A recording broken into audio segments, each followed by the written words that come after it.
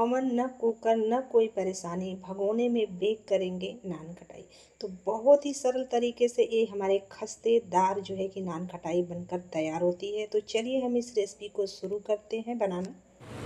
तो सबसे पहले जो है कि हमें यहाँ घी लेना है। तो घी आपको जो है जमा हुआ लेना है, क्योंकि इस समय गर्मी का मौसम है तो गर्मी के मौसम में अक्सर पिघला हुआ घी हमें ज़्यादातर मिलता है। तो हमें क्या करना चाहिए? तो हम अगर कटोरी में करके फ्रीजर में घी को रख देंगे, कम से कम 40-50 मिनट के लिए तो एक घी हमारे जम जाएँगे। तो आप इस रेसिपी में इस तरह से इस घी को इस्तेमाल कर सकते हैं। फिर इसके बाद हम क्या करेंगे, इसे थोड़ा सा पेचुला की सहायता से हम इसे थोड़ा सा मैश कर लेंगे। आपको क्या करना है ना किसी चम्मच की हेल्प से अच्छे से पहले मिक्स कर लेना है और यहाँ मैं ले रही हूँ चीनी तो चीनी यहाँ मेरी 200 ग्राम है और यहाँ मैंने पीसी हुई चीनी का इस्तेमाल किया है। तो इस चीनी को भी डाल करके हम इसे अच्छे से पहले मिक्स कर लेते हैं। तो बस इसके बाद आपको और कुछ भी नहीं करना है, इस तरह का आपको मिक्सर लेना है और बस इस तरह से हमें इसे जो है कि फेंकना है। और इसे बहुत ही अच्छी तरह से हमें इसे फेंकना है। तो एक काम जो है ना कि आप चम्मच से भी कर सकते हो। तो मेरे पास बेक्सर है, इससे मैं कर रही हूँ। थोड़ा सुबह सुबह आप करिएगा तो आपके हाथों की एक्सरसाइज भी हो जाएगी और थोड़ा सा जो भी मेहनत आपको है, इसे तो बस आपको इस तरह से जो है बेक्सर से इस तरह से आपको फेंकते जाना है और इसे तब तक फेंकना है जब तक ये पूरी तरह से फ्लफी ना हो जाए। तो जैसे जैसे आप फेंकते जाओगे वैसे वैसे ये है फ्लफी होता जाएगा। पहले कैसा था? अभी कैसा हो गया है? ये काफ़ी चेंज हो चुका है। तो जैसे जैसे आप इसे फेंकते जाओगे ना तो ये बिल्कुल क्रीमी टेक्चर का जो है कि बनता जाएगा।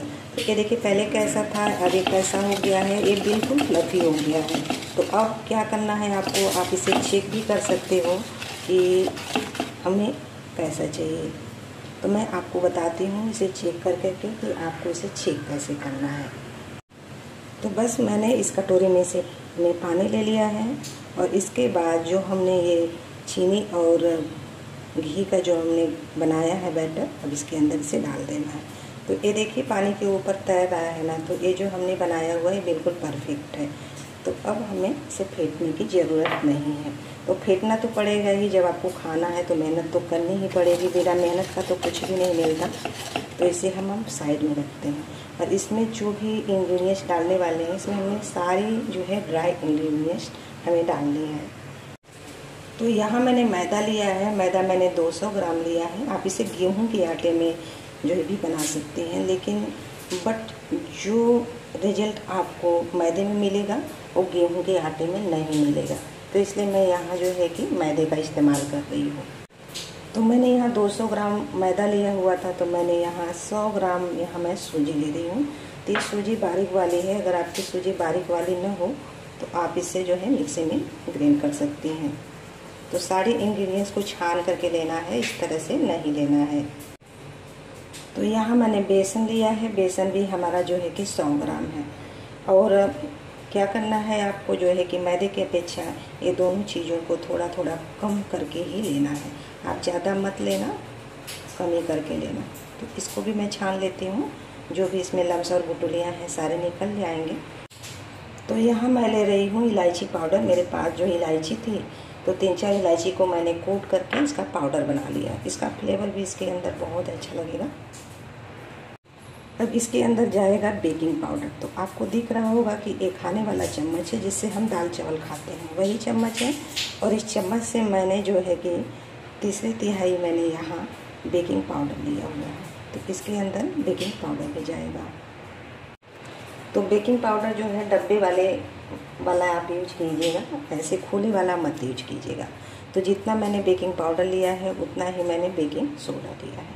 इन दोनों को हम डाल देंगे। और यहाँ मैंने एकदम थोड़ा सा मैंने यहाँ नमक लिया है, जैसे हथेली पे ले करके और, ये जो चुटकी होती है ना, इससे नापते हैं। तो एक चुटकी हो गया, दो चुटकी हो गया, ये तीन चुटकी हो गया। इससे ज़्यादा हमें नमक नहीं डालना है, क्योंकि ऐसा नहीं होगा ना कि जब हम कोई चीज़ खाते हैं तो बहुत ज़्यादा मीठा होता है तो नहीं लगेगा हमें कि बहुत ज़्यादा मीठा है इस नमक से। तो अब हम सारे इंग्रेडिएंट्स को डाल दिए हैं, अब इसे हम मिक्स कर लेते हैं। तो इस चम्मच की हेल्प से हमें इसे मिक्स करना है। वैसे अब मैं हाथ ही लगाने वाली हूँ, मैं इसे हाथ से ही इसे अच्छे से मिक्स कर पाऊँगी। तो इस तरह से हम पहले इसे बहुत ही अच्छे से हमें इस तरह से हल्के हाथ से मिक्स करना है। इस पर पूरा ज़ोर नहीं लगा देना है। तो ये देखिए जैसे जैसे मैं इसे मिक्स करती जा रही हूँ, ये अच्छे से हमारे डो बन करके तैयार हो रहे हैं। आपको इसमें पानी और दूध कुछ भी इसमें डालने की ज़रूरत नहीं है। आप इसमें पानी और दूध मत डालना। तो ये देखिए, हमारे जैसे जैसे हम इसे मिक्स करते जा रहे हैं, ये हमारा डो जो है बनता जा रहा है। और इसे जो है कि आपको हाथों से बहुत ज़्यादा से आपको इस पर ज़ोर भी नहीं देना है। बिल्कुल हल्कों हाथों से इसे जो है कि आपको बैटर को और सॉरी, डो को जो है कि बहुत ही हल्के हाथ से आपको गूँथना है।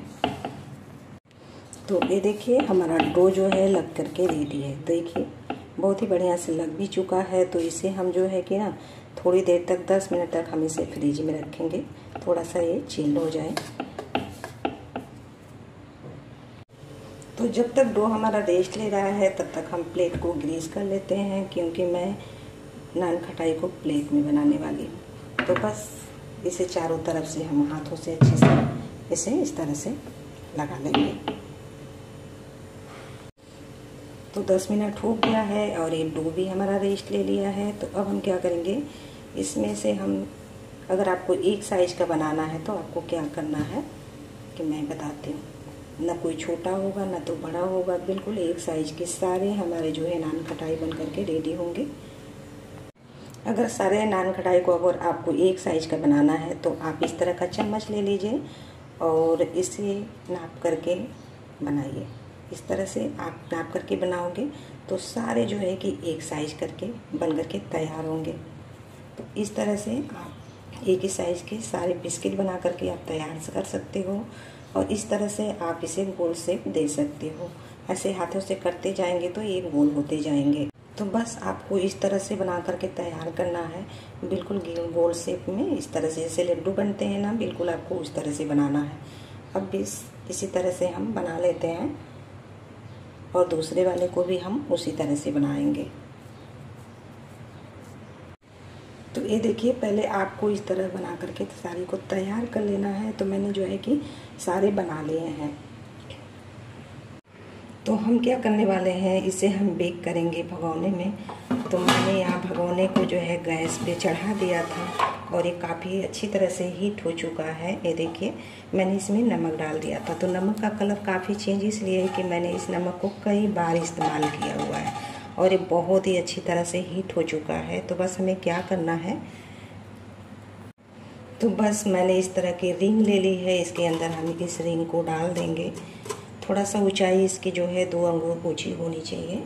फिर इसके बाद हम क्या करेंगे, ये जो हमारी प्लेट है, इसके अंदर हम प्लेट को डाल देंगे। थोड़ा सा जो है कि आपको संभल करके डालना है, क्योंकि भगोना भी गर्म है तो हाथ जलने का डर रहेगा।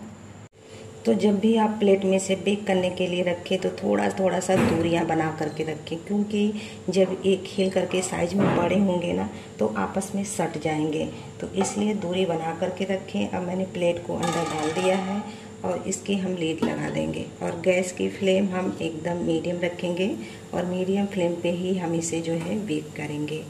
तो कम से कम 10 से 15 मिनट लग जाएँगे इसे बेक होने में और 10 से 15 मिनट के बाद मिलते हैं। तो ये देखिए, पंद्रह से बीस मिनट हो गए हैं और इसमें क्रैक्स आ गए हैं। तो यही इसकी पहचान है कि ये हमारे जो है कि नान खटाई अच्छे से बेक हो चुके हैं।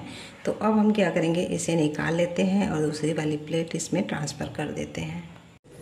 तो ये देखिए, हमारी नान खटाई जो है बन करके रेडी है और ये बहुत ही खस्ता बनी हुई है और दिखने में भी बहुत ही सुंदर लग रही है और इस पर जो है कि कितने बढ़िया से क्रैक्स आ चुके हैं। तो देखिए, मैं इसे आपको सब करके दिखा रही हूँ कि आप एक बार इस तरह से नान खटाई ज़रूर बनाइए। आप लोगों को बहुत पसंद आने वाली है। तो इसे आप काफ़ी लंबे दिन तक स्टोर करके भी रख सकते हो। ये जल्दी ख़राब नहीं होने वाली है। आप लंबे दिन तक इसे क्या रख पाओगे? किसी के घर नहीं रह पाएगी। तुरंत बनती है और बनने के बाद तुरंत ही जो है कि लोग लूट लूट करके खाने लगते हैं। मेरे घर तो यही होता है। मैं सुबह ही बनाई लेकिन जैसे लगा कि लूट मच गई। तो ये देखिए, हमारी जो है कि सारी नान खटाई बहुत ही बढ़िया से बनी हुई है। मैं आपको जो है कि अंदर से इसे तोड़ करके दिखाती हूँ कि ये कितनी खस्ता है। तो ये देखिए, इसका क्रंच देखिए। ऊपर से मैंने जो है ना कि ड्राई फ्रूट्स लगा दिया था। ड्राई फ्रूट्स ऑप्शनल है, आप चाहे इसे लगाओ या ना लगाओ। फिर भी ये खाने में बहुत ही बढ़िया लगेगी। तो ये देखिए कितना खस्ता है, एकदम। बस हल्का सा हाथ में दबा रही हूँ तो एकदम ये टूट जा रहे हैं। तो बहुत ही खस्ता बना हुआ है। आप इस तरह से एक बार ज़रूर जो है कि नान खटाई बनाइए और खाइए। आप लोगों को बहुत पसंद आने वाली है। और वीडियो अच्छी लगे तो लाइक कीजिए, ज़्यादा से ज़्यादा शेयर कीजिए और मुझे सपोर्ट करने के लिए चैनल को सब्सक्राइब करके बेल आइकन ज़रूर प्रेस कीजिए, जिससे हमारे आने वाली वीडियो की नोटिफिकेशन आपको मिलती रहे। और कमेंट करके भी बताइए कि आपको हमारे ये रेसिपी नान खटाई वाली कैसी मिल लगी। तो फिर नई रेसिपी के साथ हाजिर होते हैं। तब तक के लिए बाय बाय टेक केयर।